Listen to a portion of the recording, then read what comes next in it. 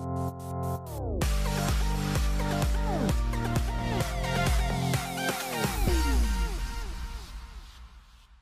जुड़वा, राजा हिंदुस्तानी, दिल तो पागल है। और बॉलीवुड की ऐसी कई सुपर हिट फ़िल्में करने वाली बॉलीवुड एक्ट्रेस करिश्मा कपूर ने अपने एक्टिंग की एक्सेलेंस को काफ़ी पहले प्रूव कर दिया था। अब 42 ईयर ओल्ड एक्ट्रेस जो काफ़ी टाइम से सिल्वर स्क्रीन से काफ़ी दूर रही हैं, कोशिश भी की थी उन्होंने 2013 में डेंजरस इश्क से कम करने की।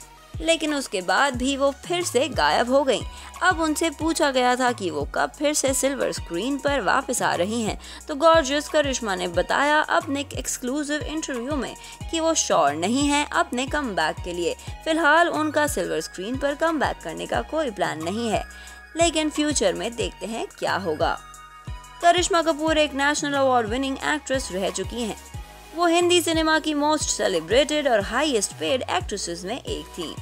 Bureau Report Indian Film History. For more updates, please subscribe Indian Film History.